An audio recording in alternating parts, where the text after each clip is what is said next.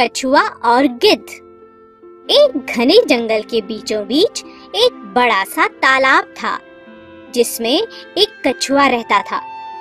उसे आसमान में पंछियों की तरह उड़ने की बड़ी इच्छा थी। हर समय वह आसमान में उड़ने की तरकीब सोचता रहता। जंगल के सभी पक्षी उसी तालाब से अपनी प्यास बुझाते थे और फिर आसमान में उड़ जाते। यह सब देख कछुए की भी बहुत इच्छा होती कि वो भी आसमान में उड़ सके। पंछी आसमान में उड़ते हुए कितने प्यारे लगते हैं। आसमान में उड़ने में कितना मज़ा आता होगा ना? सफ़ेद बादल, खुला आसमान, पंखों को खोल कर उड़ना कितना मज़ेदार होगा ना? कछुआ उड़ने के लिए बेचैन होने लगा। उसे समझ नहीं आ रहा था कि वो कैसे उड़े। दिन प्रतिदिन कछुए की यह इच्छा बढ़ती ही जा रही थी। एक दिन जब तालाब के किनारे एक गिद्ध पानी पीने पहुँचा तो कछुए को उड़ने का एक समाधान सूझा। गिद्ध भाई गिद्ध भाई आप कैसे हो? मैं बिल्कुल ठीक हूँ। तुम कैसे हो कछुए? आज तालाब से बाहर घूम रहे हो? हाँ गिद्ध भाई आपसे बस कुछ बात करना चाहता था। आप तो बड़े बलवान भी हैं। क्या बात है? आज बड़ा मक्खन मार रहे हो? कुछ काम है क्या? वो मेरी मेरी एक इच्छा है जो जो केवल आप ही पूरा कर सकते हैं भाई। इच्छा? वो क्या है? बताओ मैं तुम्हारी क्या मदद कर सकता हूँ? भाई मुझे आसमान की सैर करनी है। आप ही मेरी इच्छा पूरी कर सकते हैं। मैं? वो कैसे? और तुम्हारे तो पंख भी नहीं हैं इसलिए तुम आसमान में नहीं उड़ सकते समझे? अरे भाई आप अपने बड़े बड़े पंजों में मुझे फंसा लीजिए। और ऊपर आसमान में ले जाकर आसमान में छोड़ दीजिए। मैं भी उड़ने लगूँगा। धरती का नज़ारा देखना चाहता हूँ। भाई प्लीज़ मेरे लिए ऐसा करो ना। देखो तुम गलती कर रहे हो। तुम्हारे पंख नहीं है तुम उड़ नहीं सकते। इससे तुम्हारी जान को खतरा हो सकता है समझे? कुछ नहीं होगा। मैं जैसा कहता हूँ बस आप वैसा ही करते जाइए भाई। ठीक है जैसी तुम्हारी मर्ज़ी। कछुए की इच्छा पूरी करने के लिए गिद्ध ने कछुए को अपने पंजों में फंसाकर आसमान में सैर शुरू की। और इस तरह कछुए का आसमान में उड़ने का सपना पूरा हो गया। अरे वाह मज़ा आ गया। यहाँ से नज़ारा कितना खूबसूरत है। बादल भी हमारे कितने करीब है। बस आप थोड़ा और ऊपर जाकर अपनी पकड़ ढीली कर दीजिए गिद्ध भाई। फिर मैं भी आसमान में उड़ने लगूँगा। देखो मैं तुम्हें फिर समझा रहा हूँ। इससे तुम्हारी जान जा सकती है। आप बस अपनी पकड़ ढीली कर दीजिए और बाकी सब मुझ पर छोड़ दीजिए। घबराइए मत। फिर देखो, मैं कैसे उड़ता हूँ? मुझे कुछ नहीं होगा। गिद्ध के लाख समझाने पर भी कछुआ नहीं माना। गिद्ध ने ऊपर जाकर अपनी पकड़ ढीली कर दी और कछुआ नीचे गिरने लगा।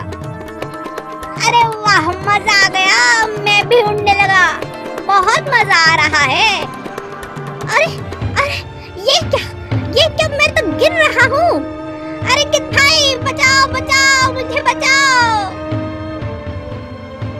वही हुआ जो गिद्ध ने सोचा था। कछुआ बिना पंखों के भला कैसे उड़ता? अरे ये मैंने ये मैंने क्या किया? गिद्ध भाई ने मुझे कितना समझाया था? पर मैंने उनकी एक ना मानी, हाय। वो तो अच्छा है कि मैं अपने इस कवच की वजह से बच गया। वरना आज मैं मर ही जाता। इस तरह कछुए को अपनी गलती का एहसास हुआ।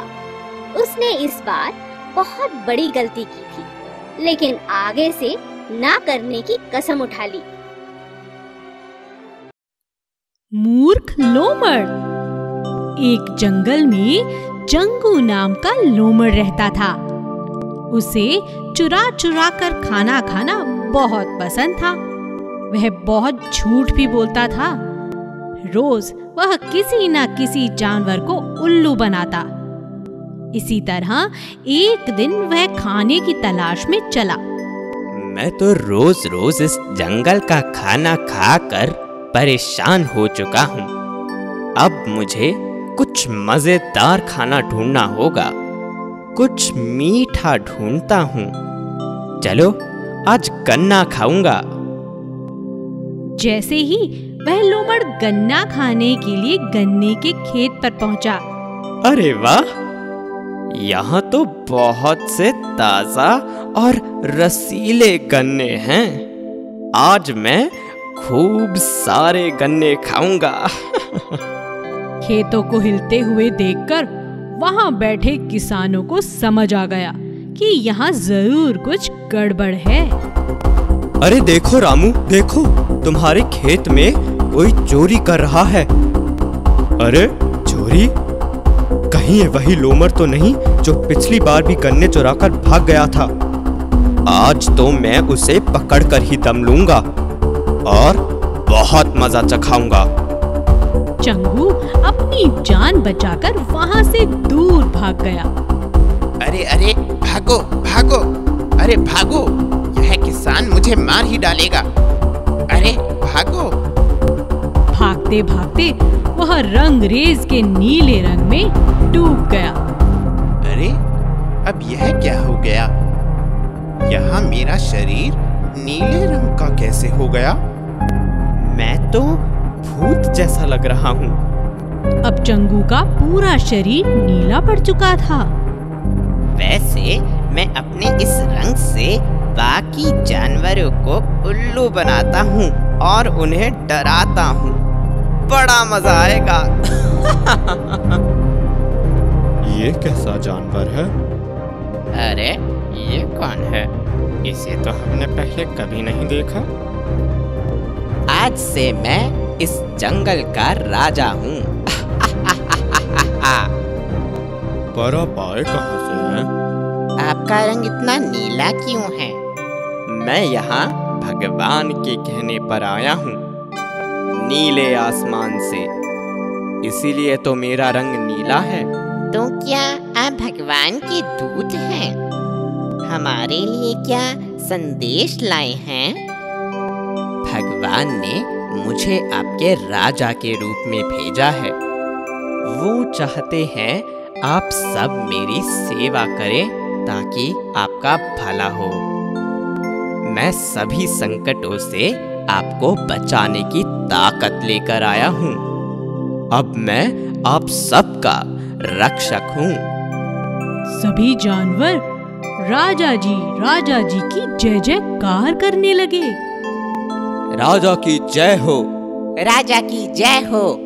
राजा की जय हो। राजा की जय हो। राजा की जय हो। अपने आगे पीछे सभी जानवरों को देखकर चंगू खुशी से फूला नहीं समा रहा था। जानवरों ने भी खूब उत्सव मनाया। राजा का बहुत सम्मान किया। वाह वाह वाह बहुत ही अच्छा। अचानक वहाँ पर बहुत सी लोमड़ियाँ आ गईं और राजा का स्वागत करने लगी।